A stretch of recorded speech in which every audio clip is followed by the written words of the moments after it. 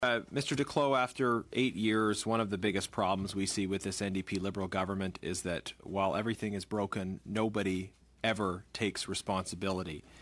Now, you're the Minister uh, of Public Services and Procurement of Canada. That means your responsibilities include procurement. So I want to ask you again who is the person responsible for the decision to use GC strategies and procure through them the ArriveCAN app? Well, I've tried to answer before, but I was cut off. So I'll turn to so, uh, Deputy Minister Reza to provide the answer. I want to hear from you, Minister. Maybe she'll you're be more you're the minister responsible. I'll give you the time. I want you to answer the question. No, no, I'll, um, I'll invite Deputy Minister Reza because she might be more fortunate than I was earlier. No, I, I I would like to hear from the minister who is supposed to be responsible for procurement to tell us who is responsible for the decision to procure the ArriveCAN app. I want to hear from the minister. Well, I can I can provide information on what ArriveCAN did. No, that's So not what the you- question is, you Minister. s- well, The, you que- the question is that, who is uh, responsible for the decision.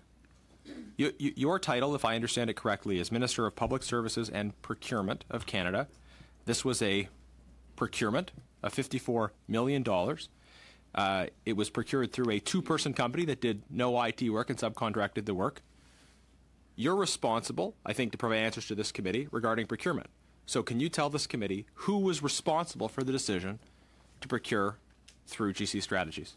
So what you just said is, is inaccurate because you've just said that $54 million was granted to a particular firm. Minister, I wasn't born yesterday. Who was responsible for the decision? So let me continue. So Who is ArriveCAN responsible for the decision, is Minister? associated with 14 different outcomes. The first of which, Minister, indeed cost who $80,000. was responsible for the decision? Okay.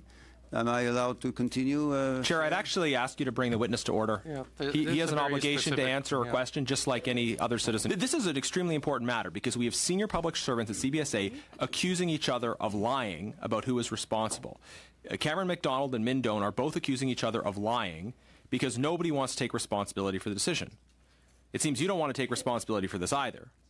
Uh, could you could you and and we would love to hear at some point from the minister of CBSA at the time, uh, but could you tell us who are the individuals uh, in their department and your department who who uh, who made this decision?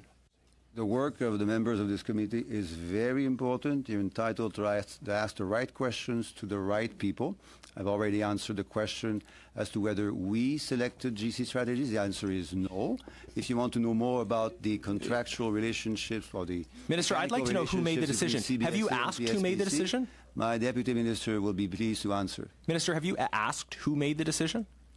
As I said, GC Have you asked who made the was decision? selected by CBSA. If Have you like to asked the person who made the decision? If you'd like to ask CBSA who exactly made those decisions within that department, it's a perfectly Okay. appropriate question. If you want to know the mechanics between PSPC and CBSA, Min- Minister, just, just, just, just, just to conclude, We'll be okay, very happy to I've, answer. I, I, I- I've asked you a pretty basic question about who the individuals responsible for the decision are.